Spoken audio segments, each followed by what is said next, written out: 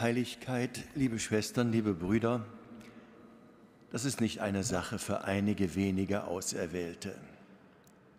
Ganz im Gegenteil.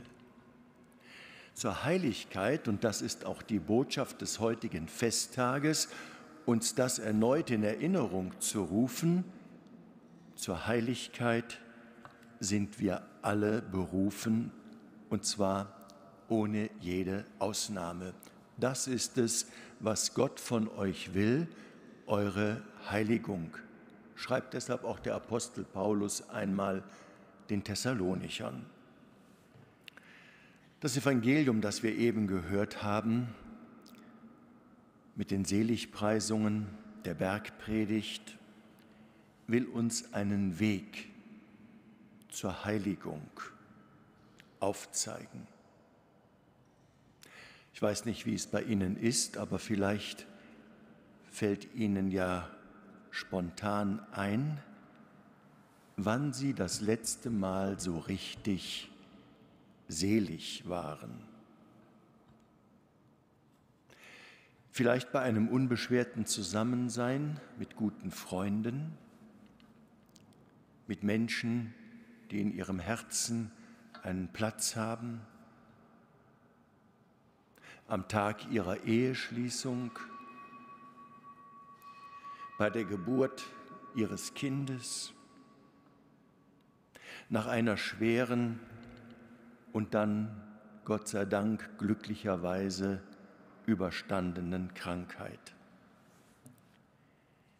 Wir wissen, so etwas kann zu diesem angenehmen Ausnahmezustand führen, den wir mit dem Begriff Seligkeit umschreiben. Seligkeit, das ist eine überwältigende Freude.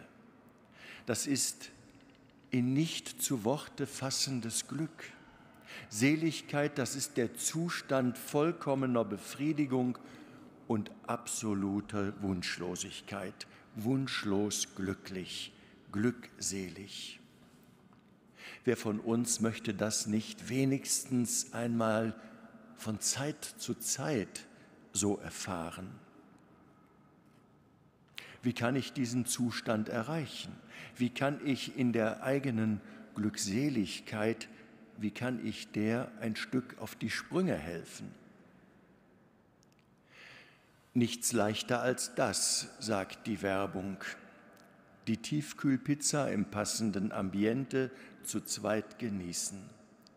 Im Traumauto über menschenleere Straßen dahingleiten.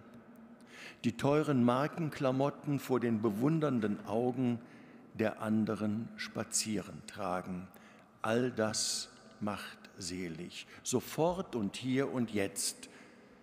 So jedenfalls findige Werbefachleute. Dass das nicht funktioniert, wissen wir ehrlich natürlich auch alle, auch wenn wir uns das manchmal anders ersehnen. Glück, das kann man eben nicht kaufen. Man wird nicht selig durch Genuss. Gibt es etwas, was ich aktiv dazu beitragen kann, dass sich bei mir Glückseligkeit einstellt? Ist wahre Seligkeit tatsächlich ein Zustand, den ich schon in diesem Leben erreichen kann? Im Evangelium antwortet Jesus heute auf diese Fragen. Selig die arm sind vor Gott, sagt er, denn ihnen gehört das Himmelreich. Selig sollen auch die Trauernden sein und die, die hungern und dürsten nach der Gerechtigkeit. Arme, Trauernde, Hungernde, Verfolgte, Verleumdete, Geschmähte,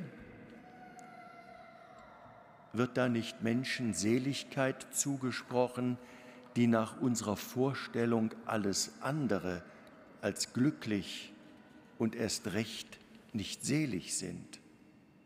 Und es geht dann auch noch weiter. Selig sollen auch die sein, die barmherzig sind und die Frieden stiften.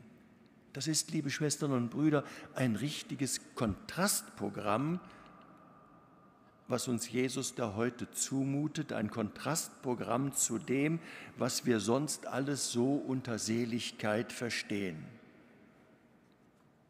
Heißt das nun, dass nur Arme, dass nur Menschen ohne Geld, ohne Arbeit, ohne Einkommen, ohne ausreichende Nahrung in den Himmel kommen, muss ich meine gesicherte Existenz, mein wohl eingerichtetes Leben, meine Ersparnisse und alle sonstigen Annehmlichkeiten aufgeben, um glücklich zu sein? Das kann es doch wohl nicht sein. Die Erfahrung zeigt doch, hast du was, dann bist du was. Besitz, Sicherheit, Ansehen, Erfolg, Macht, Unabhängigkeit, das ist es, was Menschen augenscheinlich glücklich macht. Und daran arbeiten wir mit allen Mitteln, die uns zur Verfügung stehen. Den vermeintlichen Himmel auf Erden schaffen wir uns mit dem nötigen Kleingeld aus eigener Kraft. Geht das so einfach? Was ist, wenn wie gegenwärtig Geld- und Kapitalanlagen ihren Wert verlieren, die Energiekosten explodieren und der bescheidene Wohlstand, den wir irgendwie uns erarbeitet haben, nicht zuletzt gerade auch mit Blick auf diesen Krieg hier bei uns in Europa, zerrinnt? Was ist, wenn der schulische, wenn der berufliche Erfolg ausbleibt? Was, wenn Beziehungen zerbrechen, weil Menschen, die einander Halt geben wollen, überfordert sind? Was, wenn das Ansehen schneller schwindet, als man denken kann? Dann ist man mittellos. Dann ist man bedürftig. Dann ist man arm und sicherlich nicht besonders glücklich. Glücklich sein dürfen alle, die arm sind vor Gott, heißt das heute in den Seligpreisungen. Und wer sind diese Armen vor Gott? Offensichtlich, liebe Schwestern und Brüder, geht es hier gar nicht so sehr um materielle Armut. Arm sein vor Gott da geht es darum, wie einer vor Gott steht. Da geht es um eine Haltung. Es geht darum, welche Beziehung ich zu Gott habe. Und es geht um die Einsicht, wer ausschließlich das Sichtbare für wahr hält, wer allein auf die Karte der materiellen Sicherheit setzt, der wird das wahre Glück der wird die Seligkeit nicht finden. Wer Seligkeit erfahren will, für den führt der Weg über den Offenbarungseid, über den Offenbarungseid vor Gott. Mit leeren Händen bin ich durch Gottes Willen in diese Welt gekommen. Und mit leeren Händen werde ich einmal durch Gottes Willen auch aus dieser Welt gehen. Ganz gleich, ob arm, ob reich, mein Leben lang bin und bleibe ich ein Mittelloser. Die Armen vor Gott, das sind deshalb die, die diese ihre Bedürftigkeit erkennen. Die Armen vor Gott, das sind die, die wissen, dass das Leben bei allen Mühen und Tun, bei aller Anstrengung letztlich doch nicht aus eigener Kraft gelingt. Jesus preist also gewissermaßen die selig, die sich wie eine hohle Hand Gott entgegenstrecken und die alles von ihm her erwarten. Er meint die, die Gott nicht ihr Geld und auch nicht ihre frommen Werke und auch nicht ihre fordernde Armut entgegenhalten, sondern nur sich selbst in aller Armseligkeit, leer und offen für Gottes Reichtum, für Gott selbst.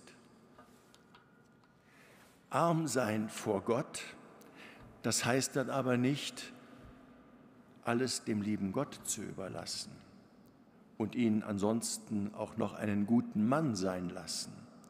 An unserer Verantwortung für den Gang der Geschichte kann kein Zweifel sein, ebenso nicht an unserer Pflicht, an dieser Welt mitzuarbeiten, damit sie für alle einigermaßen erträglich wird.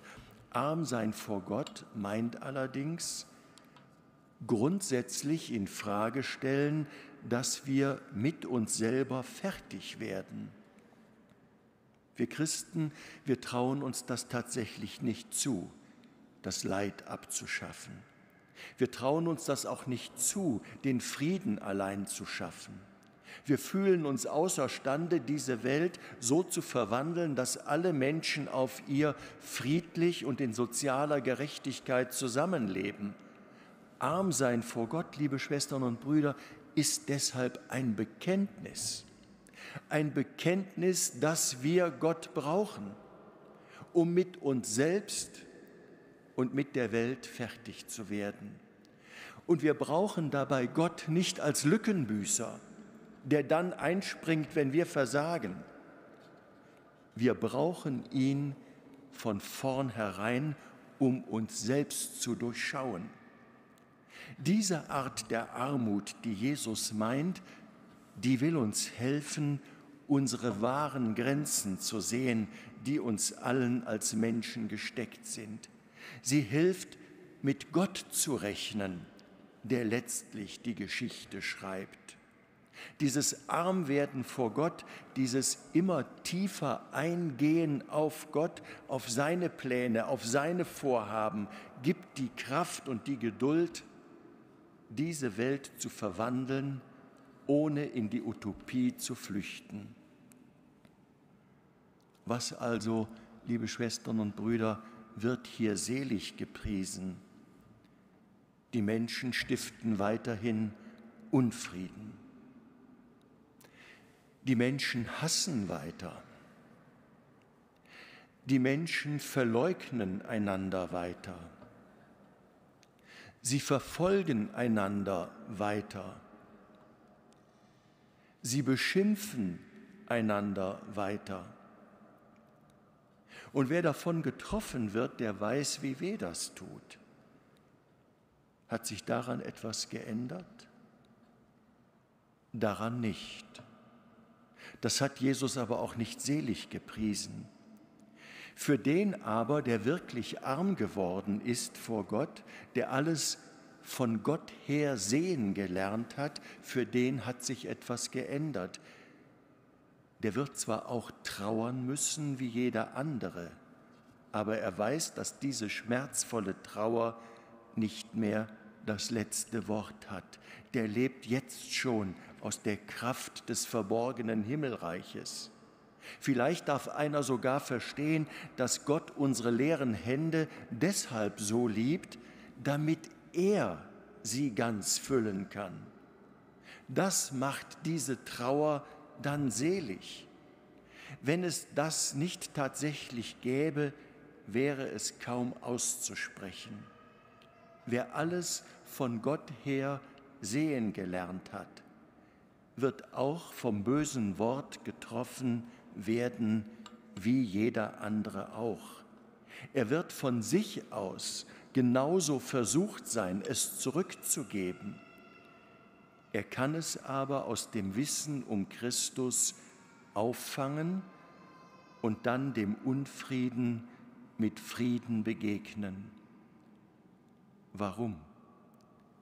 Weil er es sich jetzt schon leisten kann, nicht zurückzuschlagen, ja sogar die Hand auszustrecken. Solche Menschen preist Jesus selig. Das sind die Armen, die das Geheimnis der Hoffnung kennen. Sie leben von der Kraft des Himmelreiches. Und das macht sie gelassen, das macht sie geduldig, das macht sie stark. Sie sind so etwas wie eine Lichtspur Jesu Christi in dieser Welt. Von ihnen kann Jesus jetzt schon sagen, ihnen gehört das Himmelreich. Schon hier und jetzt, mitten in dieser Welt und nicht erst irgendwann. So einfach, liebe Schwestern und Brüder, und doch so schwer ist dieser Weg unserer christlichen Berufung zur Heiligkeit, zu einem Leben mit Gott im Herzen und mit Gott vor Augen. Bei der Erneuerung der Kirche und damit der Erneuerung unserer selbst geht es deshalb letztlich immer um eine Erneuerung unserer Herzen und um eine Umwandlung unseres inneren Menschen. Nur so erneuern wir uns. Nur so erneuern wir auch unser Erzbistum, wenn wir Tag für Tag erneut versuchen, mit den Seligpreisungen im Marschgepäck auf diesem unserem Weg zur Heiligkeit voranzuschreiten und dabei versuchen, zu jeder Zeit Gott im Herzen und Gott vor Augen zu haben. Amen.